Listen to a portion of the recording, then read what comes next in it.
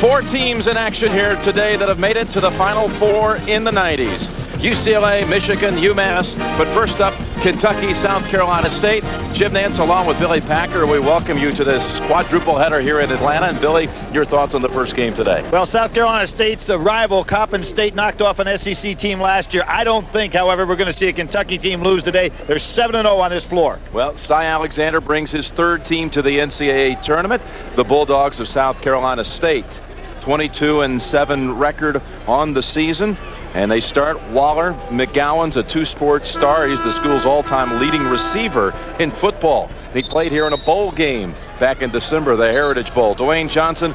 Blakeney is their star performer. Tyler Brown in the backcourt with them.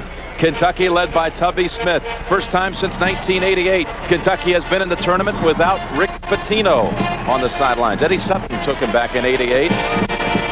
And Pitino took him to the last two championship games.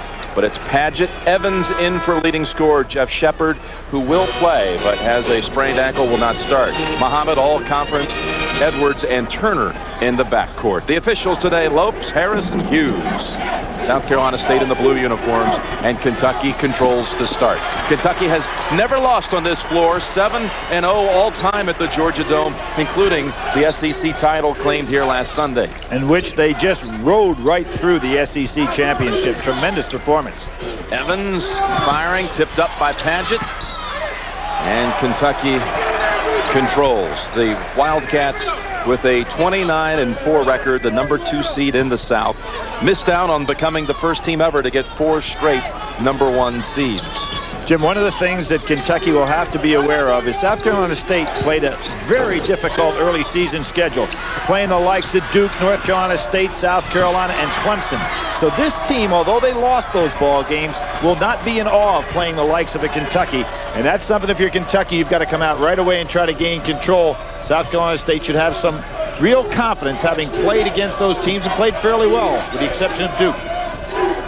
Kentucky had four attempts on its first trip and a steal and a head to Turner. Turner with the first two of the game. Turner picks up right where he left off last week, the MVP of the SEC tournament. Sensational uh, final game against uh, uh, South Carolina. 18 points, a tremendous assist leader for this ball club.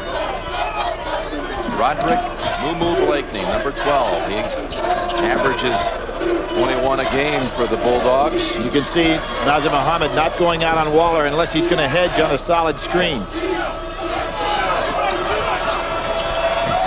Nothing there. away by Evans. Brown tried to force it inside. Turner driving again, and he's got two more. Tremendous bounce pass that time by Evans. And whether he comes off the bench and with Sheppard out, Evans, of course, starting right now, but he is such a valuable guy to have coming off of that bench. Explosive score, really a veteran. South Carolina State's third trip. They haven't even attempted a field goal to this point. They've turned it over twice. There goes. Johnson too strong. And Edwards underneath. All Kentucky underneath. Good dish. Muhammad for two more. 6 nothing Kentucky. Evans was going ahead to throw the lob to Edwards, who Edwards had the good angle. Kentucky foul so Evans called for the foul. Kentucky's record of 29 and 4 overall, Billy, very similar to what the Wildcats had as a record going into last year's tournament. Right, 30 wins last year. They ended up just one shy of the all-time Kentucky record. Jim, one of the things that's interesting, though, they lost three games this year at home in Rupp Arena. And one of which we had, the Louisville game, probably was as tough a loss as Kentucky has had in years. What South Carolina State's got to do is get the ball in Blakeney's hands. If he's the leading man, he and Brown, they've got to take some shots. They haven't been able to get off a good shot yet. McGowens three-pointer. You called for it. 6-3 Kentucky. McGowens has already tried out, been in the NFL combines, tried out from some private practices, one with the Redskins. They said he ran a 4.4940. Padgett tries to bank it and tipped up by Evans. Way to answer it.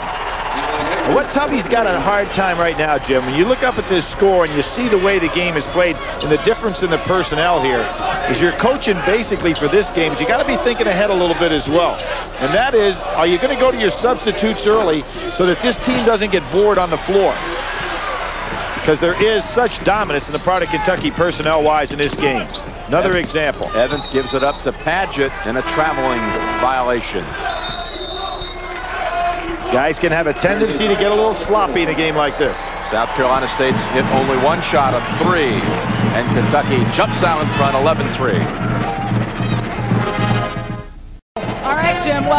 Sheppard may not have started today, but the reason he can play at all today is because of something he did on Tuesday. He spent the entire night in the team training room getting ice treatments on that left ankle for 35 minutes out of every hour. And while he basically slept through that entire process, trainer Eddie Jamiel stayed awake all night making sure the treatments were administered on time. He says that effort was not in vain. Sheppard's recovery over a full week ahead of schedule, guys. Mm. But you know what, Billy? He may not be even in the lineup at all today. Uh, I don't be needed. Yeah, I don't think it'd be a good idea to play him. You can see that uh, he has not only a little bit what looks like a little swelling, but he has discoloration all the way up to his knee. Three-point try by James Jones.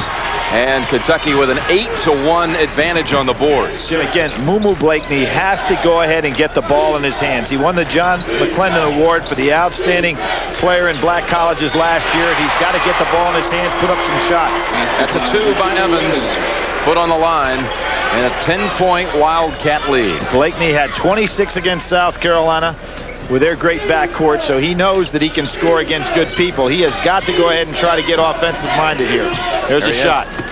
And a three for Blakeney. Nice smooth jumper. He won the McLendon Trophy, as you mentioned, Billy, last year, and a favorite to win it again this year. John McLendon, a Hall of Famer, one of the most uh, outstanding basketball minds I've ever talked to in my life. John is a, a pure gentleman and actually studied under Mr. Naismith. At Kansas. Yep.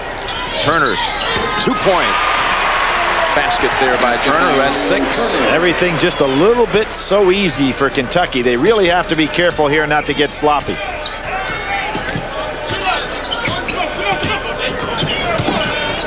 Jim, as you mentioned, uh, Kentucky 7-0 on this court, the three games they won last week in the SEC tournament.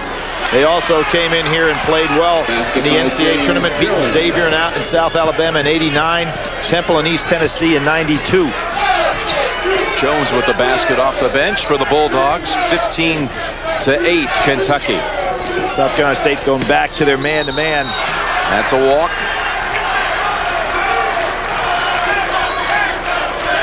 We'll get you to your tip on time, those expecting to see Valparaiso Ole Miss, Western Michigan, Clemson. How do you see that game, Billy? Well, Clemson's the ball club right now that uh, got second life at the end of the year. They are in a pretty good shape from a standpoint of first time being healthy. And I would expect them to uh, to have the advantage in that game. I think they're a dangerous team. Remember last year, of course, that brutal game they had with Minnesota. Blakeney. Again, nice going. Here's where they have to get their scoring from.